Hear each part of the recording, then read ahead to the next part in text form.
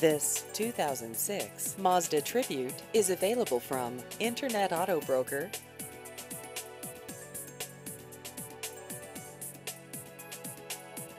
This vehicle has just over 70,000 miles.